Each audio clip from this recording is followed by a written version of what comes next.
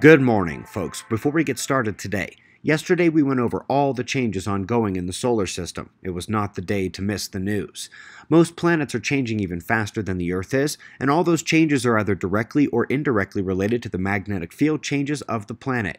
These were to be added to the body of evidence that we're starting the long cycle shift now. Let's go to the sun and peek in on the progress of the plasma filament incoming on the south.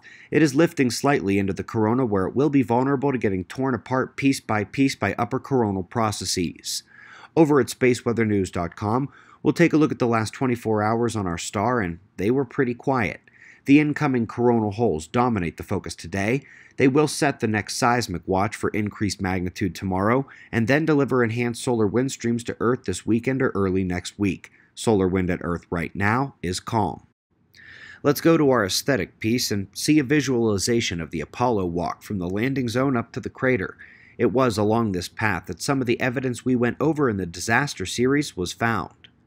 Let's move on quickly to fast radio bursts, FRBs. These extreme signals from supposedly deep space are the new flavor of the decade in astronomy, but many mysteries remain. Today, we learn about a process used to locate non repeating FRBs by coordinating detection and global telescope efforts. Keck taking prestigious honors for their role in carrying out the first implementation of this plan and locating a non repeater. We are moving on to the climate, and we're back at Dr. Spencer's blog. By the way, he and a couple other former NASA scientists really have the only blogs on climate change worth reading. He has re examined his 2010 analysis of spurious warming, found even more problems. The numbers used to push climate agendas are not only off, but they are egregiously off, and in obvious ways that have been identified before and ignored. Instead, we've got grant hunters on the prowl in utter servitude to pandering political, claiming we need to cut 80% more emissions than we thought. It's a titanic number, and it would be to industry and the economy like cutting off your left foot before a 100 meter dash. Another top journal allowing basement rate climatologists to use CMIP5 instead of CMIP6, which should get you banned from receiving a grant these days if science worked properly. But beyond that, those estimates of warming are based on the RCPs. These have been the subject of paleoclimate comparison failures, CO2 oversensitivity and bias, and overblown warming predictions. Of course, what even the latest models are fully missing is the particle effects of the solar wind and cosmic rays, and the coupling of the interplanetary magnetic field.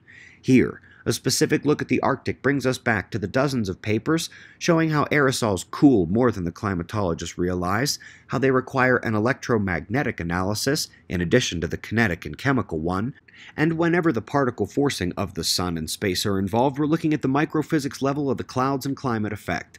A beautiful nod there to how small irradiance changes in climate models really should include the massive particle forcing swings on top of them, especially at the polar region. Now, speaking of that amplification of solar irradiance change, that's the focus here. When the sun drops down, it's not just a little less light, but 100 to 10,000 times lower particle heating and an increase in cloud cooling. That part is driven by an increase in cosmic ray cloud production, and unlike previous studies, they are now not assuming those clouds trap heat. They're now properly suggesting it's those clouds reflecting sunlight that trigger the rapid glaciations, and no solar terrestrial physicist misses how worked that situation is by energy from space. We greatly appreciate your support. Folks, a UPS truck blocked my entire neighborhood for 25 minutes yesterday while unloading our new books to us. The pre order wait is over. They will be available for purchase again, including a PDF version, after we get the pre orders out to all you gloriously patient people.